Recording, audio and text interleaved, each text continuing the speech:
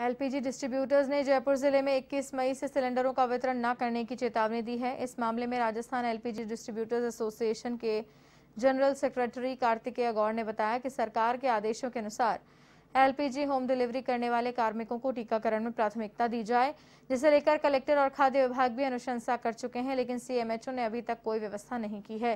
जबकि राजधानी को छोड़कर प्रदेश के कई जिलों में कैंप लगाकर कर्मचारियों के टीकाकरण की विशेष व्यवस्था की जा रही है।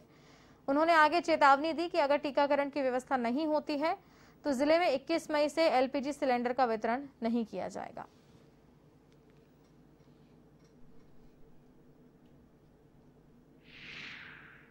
जैसा आप सभी को ज्ञात है, पिछले एक वर्ष से राज्य में कोविड महामारी का जो है प्रकोप चरम सीमा पे है। ऐसे में एलपीजी के होकर्स निरंतर हफ़्ते में सातों दिन कार्य कर रहे हैं। और डोर टू डोर सभी ग्राहकों के घर पर सिलेंडर का वितरण का कार्य कर रहे हैं। इस क्रम में राज्य सरकार ने भी 18 वर्ष से ऊपर के सभी वयस्कों के टीकाकरण का अभियान चला रखा है और स्वास्थ्य विभाग तथा खाद्य विभाग ने भी निर्देश दे के, जिला कलेक्टर साहब ने भी निर्देश दिए हैं कि राज्य में कार्यरत सभी एलपीजी होकर्स का टीकाकरण का कार्य प्राथमिकता से किया जा सके।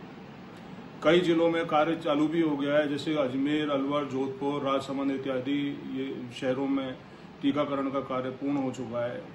जयपुर सीएमएचओ से भी हम लोगों ने कई बार आग्रह किया है कि सर कैंप लगाकर यहाँ भी जो है कोविड के करीब 25 परसेंट राज्य के जो मरीज़ हैं वो जयपुर में ही हैं, अतः प्राथमिकता से टीकाकरण किया जाए। लेकिन हमारी कोई भी सुनवाई नहीं हो रही है और स्थिति इतनी गंभीर हो गई है कि हॉकर्स ने door to door home delivery करने के लिए भी मना कर दिया है।